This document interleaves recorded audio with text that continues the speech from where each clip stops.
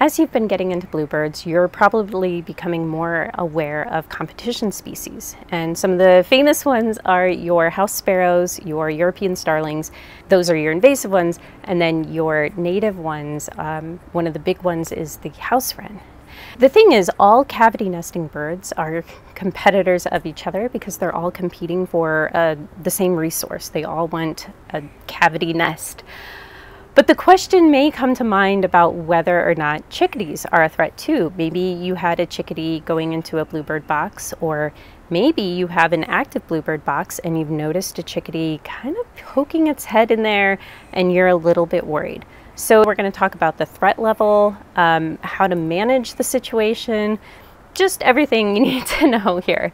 So we'll dive right into it. Let's just start off with whether or not chickadees are a threat to bluebirds.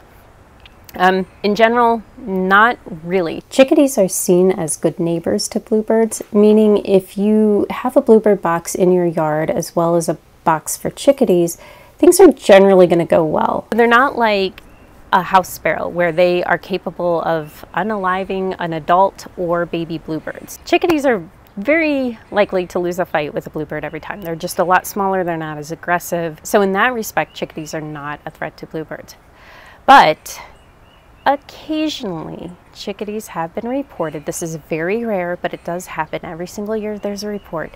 They've been reported to go into an active bluebird box, peck the eggs, and sometimes toss them out. This is something that, like, it's only now becoming documented a little more because the nest box cameras are becoming so popular. I don't want this video to ruin chickadees though. These are really sweet birds that need our protection just as much as bluebirds do if not more. So this is not to villainize chickadees at all. This is more just to educate everyone about the fact that this can happen, but it doesn't happen often at all. Competition, though, can get tough for any wild bird. House wrens are the ones who are more famous for doing this. And the reason house wrens are more famous for doing this is because uh, the male will go and build dummy nests in whatever cavity he can find, multiple cavities. And then he finds his mate, and his mate picks which one she likes best, and then she finishes off the nest. The downside with this is house wrens need those cavities in order to build these dummy nests. They're building a lot of them, and that means that they're going to go into active nest boxes sometimes. The reason this is happening more with house wrens is because of frequency. You know, they're building more nests, so they're more likely to hit on an active nest. With chickadees, they're not known for building dummy nests, but they are known for sometimes abandoning a nest. Maybe something happened and now they need to go nest somewhere else. So that could be kind of what's prompting the situation is they lost their nest, there's nothing available, and so now they're going to get a little more aggressive, not severely aggressive, but a little more aggressive because nature is calling, you know, time is ticking. They've got babies to make. The other thing to keep in mind is that every and any cavity nesting bird is capable of doing this. Nature is nature, competition is competition. There's not like a moral code that they get to follow. So it just, it does happen. And our job is to be stewards and try and keep the peace, but ultimately we're here to protect our native birds. So if this is something that has happened to you, first of all, I, I have not experienced this with chickadees. I know it's been reported. But I've experienced this with house wrens, and I know that it's really heartbreaking. And it's also really easy to get angry too. Um, but we don't want this anger to lead to hate for a certain bird. Again, we want to make sure that we're here as basically shepherds. You know, we just want to tend to the nature in our backyard because by making that thrive, then the local ecosystem thrives and we're doing our part. So if this has happened, take a step back, grieve, be sad. You know, it, it is heartbreaking. It is a loss. It sucks.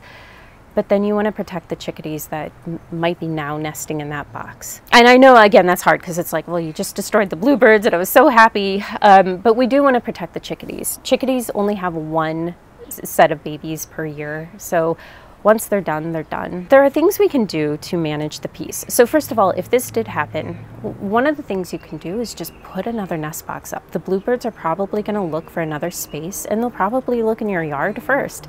So get another nest box up, um, put a one and one eighth hole reducer, uh, one and one eighth inch hole reducer on the chickadee nest box, And you know that can help you know the situation the the bluebirds are very likely to try and nest again anyway so there is some hope in this situation um, the next thing is let's just talk prevention. So this doesn't happen whether it's chickadee a house wren or any other cavity nesting bird. How do we prevent evictions and egg breaking from happening in the first place?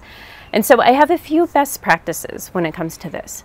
Number one when once you have the first egg laid whether it's a bluebird or chickadee get a wren guard and a, a sparrow spooker put on the nest box. The thing you want to do though is be really careful that and make sure that your your birds have accepted this or don't put it all up at once. Um, and then just make sure that they're going in and out of the nest box. Watch the nest box closely after you've added one of these guards. There are ways to train them into it. Um, with chickadees, it's a little tougher because they are more skittish, so you want to be really, really gentle, really careful, and like stay back as much as possible. Don't intervene too much. Don't let your worry get the best of you either. If they're not liking it, pull it off though, um, and just, you know, cross your fingers. Um, with bluebirds, same thing. You put it up, go in stages here, do one and then the other, um, and then just make sure that they accept it. If it's been like an hour or two hours and the bluebirds are frustrated and they're not getting into the nest box, take it down. Um, the next thing is when you are using those guards, the birds can fledge with them on, uh, or so I've heard, but I don't want to make it hard for the birds to fledge, especially with a wren guard. I want the babies to be able to see their surroundings. They need to know that they can jump off to cover nearby. So take everything off. The other reason we're going to do that is so that com competing birds don't get used to these things. So you take it off after they fledge, once the next set is going and an egg is laid, you put everything back up again. The next thing, so outside of the guards, the next big best practice I have is always have a vacant box on your property. Once your guards, your sparrow spooker and your wren guards, once those are on the active boxes, you have a vacant box with no guards, no nothing on it. And this can serve as a decoy box for house sparrows or a nesting box for a competing species. As far as spacing goes, I would recommend at the very least 30 feet, but you're going to have to experiment with things. And maybe your yard doesn't permit 30 feet. You can experiment with a little bit less and just see how it goes. See if there's fighting, and if so, eh, it's, it's probably not going to work. If you have more space and at 30 feet there's fighting, space it out further. Also, if you have more space in your yard, start out with more space between nest boxes. Another thing too is block the line of sight if you can. So, you know, if there's a bush in between, if, if the house sits between the nest boxes, things like that are also going to help with reducing fighting and competition and things like that. Because what can happen is if they're too close together or they're really immediately in, in the line of sight, the bluebirds will start defending both nest boxes. And if the chickadees are trying to nest, well, they can't nest as peacefully. So finding ways to block the line of sight, that can really help. You could also experiment with different heights. I had a tree where a chickadee nested like 30 feet up in the tree and then downy woodpeckers nested 15 feet below that. Um, I don't recommend a 30 foot pole. I don't think that's really possible, you know, but what I'm saying is if space is limited, you could have your bluebird box at about six feet off the ground and your chickadee nest box at 10 or 15 feet, and maybe they're spaced 25 feet apart. And maybe, just maybe, that'll help. The downside with experimenting with height is that uh, you got to get on some kind of ladder if you're doing that, or find like a, I think it's a telescoping pole, you know, where you can raise and lower it. Um, so those are some drawbacks there. Start with spacing, you should be good.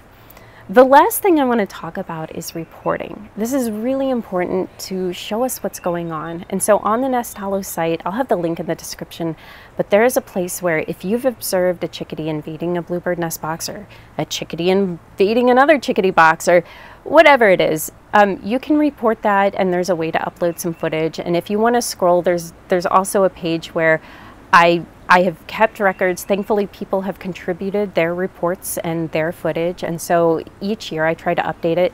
So far as of making this video, I haven't had any reports, but I'm also making this on March 14th, and this will probably be published a lot later than that, so by then there could be some reports here.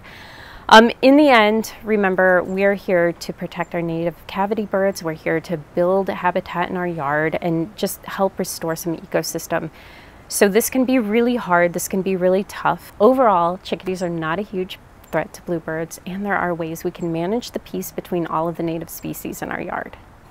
Hey, just really quick, I want to take a moment and pin this to the video in order to, yes, plug this educational coloring book.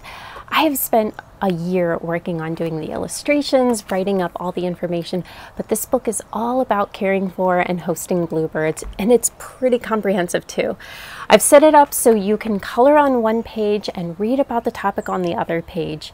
And the hope with this is that you could just relax, color, enjoy it, and then engage with the information too. You can find it on Amazon, and I'll also have a link to it in this video's description.